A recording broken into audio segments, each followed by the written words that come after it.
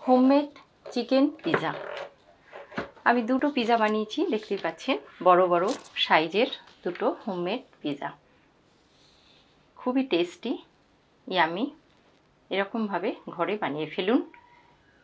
সকলে, ছোট, বড় সকলের খুবই পছন্দের পিৎজা নমস্কার বন্ধুরা, আমি চৈতালি চৈতালি রসই ঘরে আপনাদের সকলকে অনেক অনেক স্বাগত।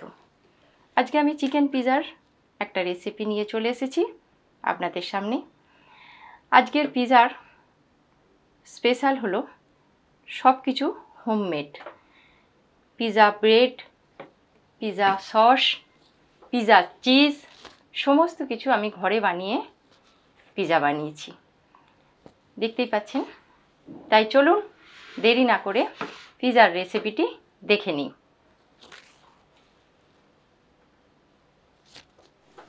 আজকে আমি পিজা বানাবো।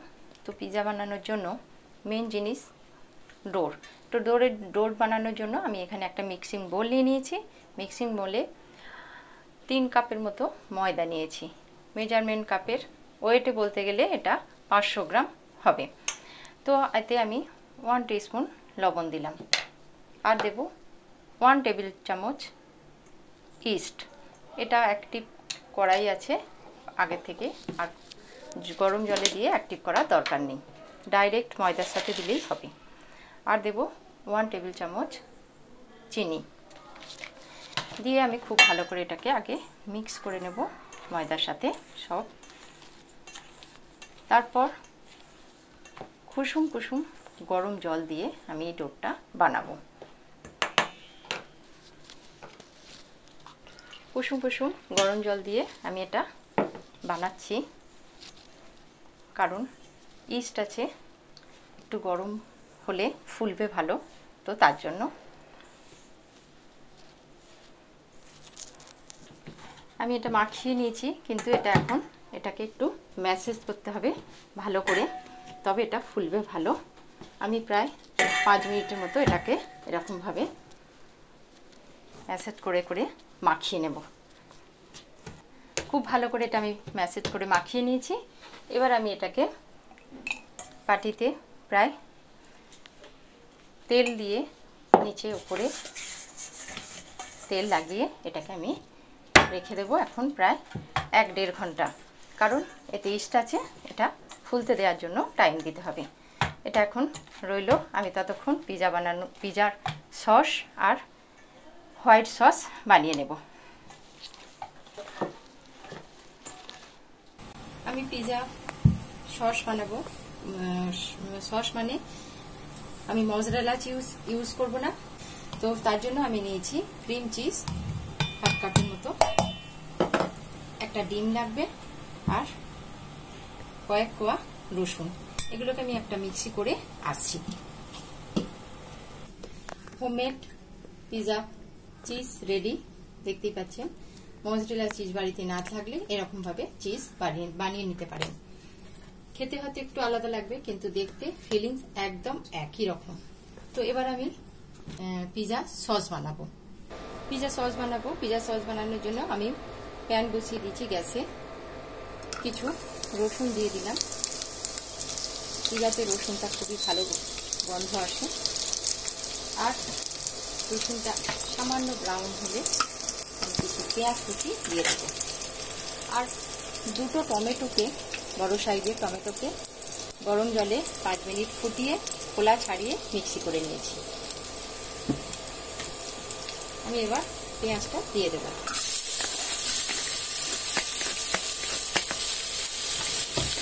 পেঁয়াজটা একটু হালকা নেড়ে নিয়ে, ব্রাউন হলেই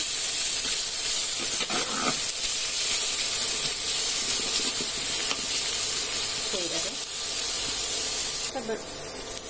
পেঁয়াজ পেঁয়াজটা ব্রাউন হয়ে গেছে, এরকম অবস্থায় আমি টমেটোটা দিয়ে দিলাম। টমেটোটা দিয়ে একটু নেড়ে নেব। এটা একটু গাঢ় হলেই সস বানানো হয়ে যাবে, সসের মতো। একটু গাঢ় হবে। আমি ওয়ান টিস্পুন লঙ্কা গুঁড়ো দিলাম। এতে কালারটাও খুব সুন্দর আসবে। আর হাফ চামচের মতো লবণ দিলাম। আর দেব ওয়ান টিস্পুন চিনি। চিনিটা আপনারা আপনাদের মতো চিনি নুনটা দেবেন অবশ্যই।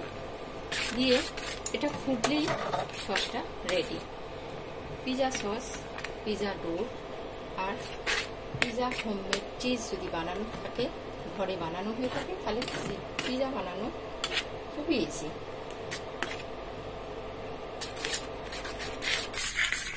পিজা সস রেডি দেখতেই পাচ্ছেন গাঢ় হয়ে গেছে। এটা ঠান্ডা হলে আরও গাঢ় হয়ে যাবে। পিজাতে এটা লাগানোর জন্য একেবারে pizza sauce ready chicken pizza তাই চিকেনের একটু মশলা করে নেব। চিকেনটা দিয়ে প্যানও দিয়ে দিয়েছি। গরম হয়ে গেছে তেল। আমি দু চামচের মতো তেল দিয়েছি। আর পাঁচ ছ কোয়া রসুন থেতো করে নিয়েছি। আর চার পাঁচটা কাঁচা লঙ্কা কুচিয়ে নিয়েছি। এগুলো একটু তেলে নেড়ে নেব। আর আমি এখানে তিনশো গ্রামের মতো চিকেন ছোট ছোট করে কুচিয়ে মশলা মাখিয়ে এক ঘণ্টা ফ্রিজে রেখে দিয়েছিলাম। রসুনটা হয়ে গেছে, দেখতেই পাচ্ছেন। আমি একটা বড় সাইজের পেঁয়াজ নিয়েছি, কুচিয়ে এটা দিয়ে দিলাম। আর একটা সিমলা মির্চি এরকমভাবে লম্বা লম্বা করে কুচিয়ে আমি চিকেনের সাথে দেব। এগুলো একটু ভালো করে নেড়ে নেব।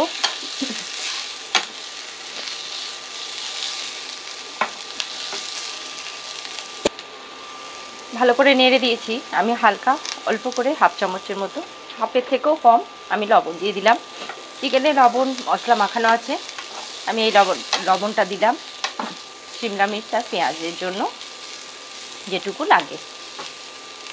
এবার আমি উপর থেকে চিকেনটা দিয়ে দেব।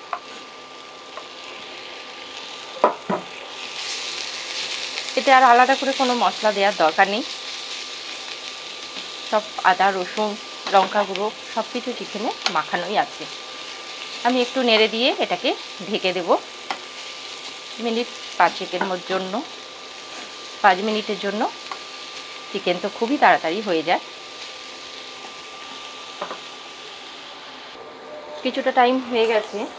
দেখতেই পাচ্ছেন, চিকেনও প্রায় রেডি চিকেন হতে খুব বেশি টাইম লাগে না। তবে এগুলো শুকনো হবে। একটু চিকেনের জলও বেরিয়ে গেছে। আমি কিছু চিল্লি ফ্লেক্স দিয়ে দেব। আলাদা করে কোনো মশলা দেওয়ার দরকার নেই। আমি একটু চিল্লি ফ্লেক্স দিয়ে দিলাম। দিয়ে একটু নেড়ে দেবো। আর একটু শুকনো শুকনো হবে বলে। চিকেন রেডি দেখতেই পাচ্ছেন। আমি গ্যাস এবার বন্ধ করে দেব। আর উপর থেকে কিছু ধনে পাতা ছড়িয়ে দেব। ধনে পাতা অনেকে দেয় না। কিন্তু ইন্ডিয়ানরা ইন্ডিয়ান মশলা আর কিছু জিনিস তো অ্যাড করবেই এক্সট্রা তো আমারও ধনে পাতাটা দিয়ে দিলাম। খুব সুন্দর একটা গন্ধ আসে ধনে পাতার। আমার চিকেন পিজার জন্য রেডি এক দেড় ঘণ্টা হয়ে গেছে, দেখতে পাচ্ছেন? ফুলে ডবল হয়ে গেছে।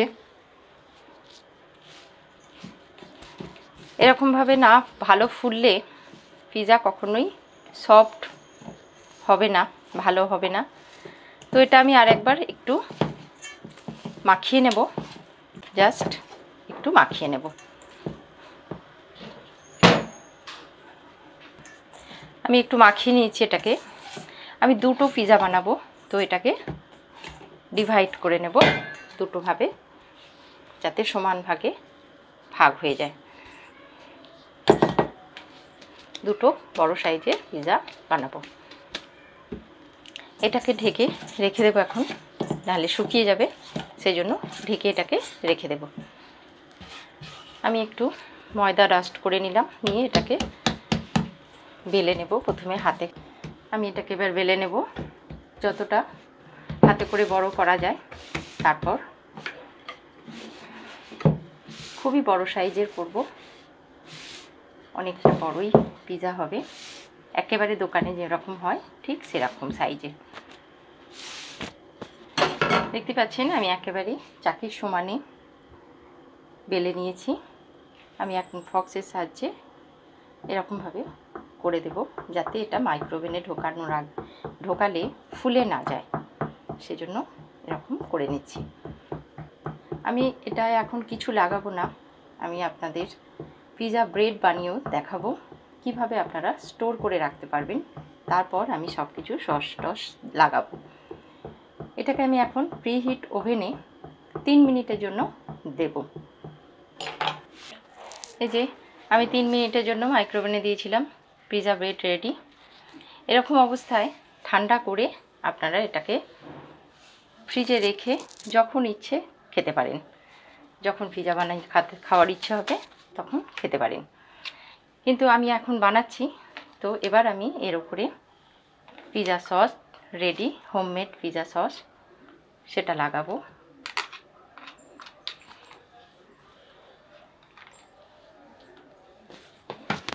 এরকমভাবে চারিদিকে চারিয়ে লাগিয়ে দেব। আমি পিৎজা সসটা ভালো করে চাড়িয়ে দিয়েছি। এবার আমি এর উপরে চিকেনটা দিয়ে দেব, যেটা বানিয়ে রেখেছিলাম। চিকেনটা আমি ডিভাইড করে নিয়েছি। দুটো পিজা বানাবো, তাই এরকমভাবে উপরে দিয়ে দেব পুরো। বেশি হলে খেতে টেস্ট বেশি হবে। যেমন খুশি আপনারা দিতে পারেন, আমি এরকমভাবে দিয়ে দিচ্ছি। এবার আমি চিকেনটা পুরো ভালো করে চাড়িয়ে দিয়েছি, দেখতে পাচ্ছেন। এবার আমি হোমমেড চিজ যেটা বানিয়েছি ঘরে মশলারা চিজের পরিবর্তে তো সেটা আমি এখন এর উপরে দিয়ে দেব। যেমন পারবেন আপনারা সেরকমভাবেই দিয়ে দেবেন, পুরো চিজের মতোই দেখতে লাগবে। খেতেও টেস্টও চিজ মজরেলা চিজের মতো না লাগলেও খুব খারাপ না, ভালোই লাগবে। যেটা বানিয়েছি এর টেস্টটা পাবেন। আমি এরকমভাবে উপর থেকে দিয়ে দিচ্ছি। আমি হোমমেড চিজটা খুব সুন্দরভাবে চাড়িয়ে দিচ্ছি। এবার উপর থেকে টমেটো, সিমলা মির্চি, পেঁয়াজ একটু দিয়ে দেব। দেখতে ভালো লাগবে। না দিলেও হবে কেন? কারণ চিকেনের সাথে সবজি দেয়া আছে, সিমলা মির্চ বলুন বা পেঁয়াজ। তো আমি একটু টমেটো, সিমলা মির্চি আর পেঁয়াজ আর একটু সাজিয়ে দিচ্ছি। আমি একটু সবজি সাজিয়ে দিয়েছি। উপর থেকে হালকা লবণ দিয়ে দিলাম। একটু চিলি ফ্লেক্স দেব।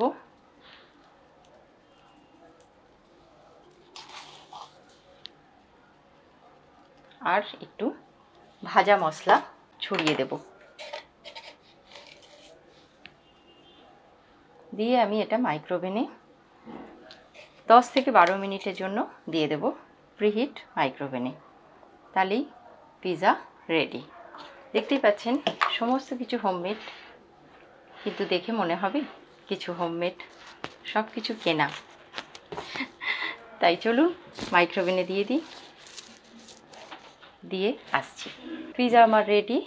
মাইক্রোওভেনে বারো মিনিটের দুটো পিৎজা একেবারে। আজকের পিৎজার রেসিপি ভালো লাগলে অবশ্যই লাইক শেয়ার কমেন্ট একটা করবেন।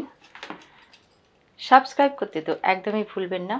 পাশে থাকা বেল আইকনটা অবশ্যই বাজিয়ে দেবেন, যাতে যে কোনো ভিডিওর নোটিফিকেশন সরাসরি পৌঁছে যায় আপনার মোবাইলে আমি এরকমভাবে পিজা কাটার দিয়ে পিজাগুলো কেটে নেব।